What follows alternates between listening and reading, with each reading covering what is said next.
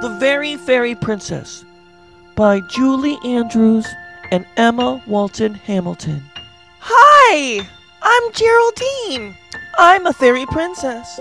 You may not believe me, but I can tell you that I am! I know I'm a fairy princess because I feel it inside.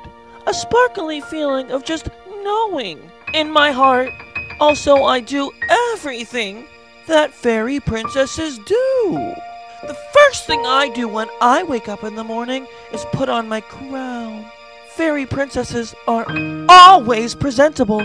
You never know who you might bump into, even on the stairs. For breakfast, I have fairy pancakes with extra fairy dust on top. Yum! Fairy princesses have very refined taste. Then it's time to choose my royal attire for the day.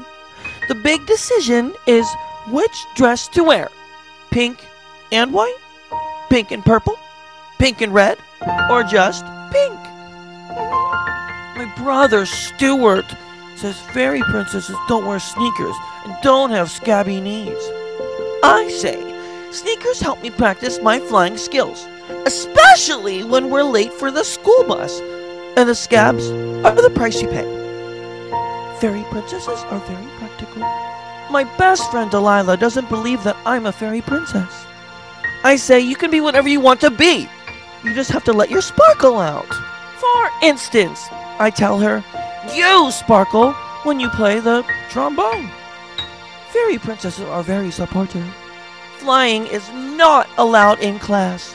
So at school, I hang up my wings in my cubby. Besides, they'll get squished in the morning meeting. My teacher, Miss Pym, says fairy princesses don't fidget or interrupt. But how can you be on the lookout for problems to solve? Sometimes you have to speak up, like when our class pet Houdini the hamster escapes. Fairy princesses know when to take charge. My favorite classes are art and music. That's when I can really let my sparkle out. I use lots of glitter, sequins, and feathers when I paint. Sometimes there's just not enough space on the wall for all my pictures. Fairy princesses like to keep extra gifts on hand for special occasions, like when Grandma comes to visit.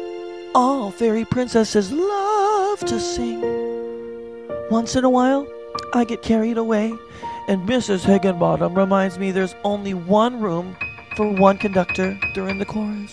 The absolute best time of the week is when I have ballet after school. I wear my fluffy tutu and twirl and whirl and leap, light as a feather. Occasionally my crown gets in the way, but I'm working on that. Fairy princesses know that practice makes perfect. Back home, it's time for my fairy snack pink lemonade and sugar cookies with extra sprinkles, double yum. Then it's into the garden I go to attend to my royal duties, like rescuing frogs. You never know when one might be a prince. And exercising my unicorn. Mom calls me in for my bath. She says, Fairy princesses don't have dirty fingernails. I say, it's the price you pay for having so many responsibilities. I have to remove my crown to shampoo my hair, but I make one out of bubbles just to tide me over. Fairy princesses are very creative. Stuart says fairy princesses shouldn't watch TV before they're done their homework. I say, even a fairy princess needs a break to keep her sparkle from sagging. Besides, how else can you keep up with the fairy news of the day? Daddy knows I'm a fairy princess. When he comes home from work, he always says, How's my little princess today? So that's alright. Being a fairy princess can be very demanding. Sometimes it's all I can do to stay awake through dinner. Fairy princesses need lots of beauty sleep to recharge their sparkle. Daddy carries me up to bed. Mommy tucks me in. Sweet dreams, Gerry. They whisper from the door. You'll always be our very, very princess.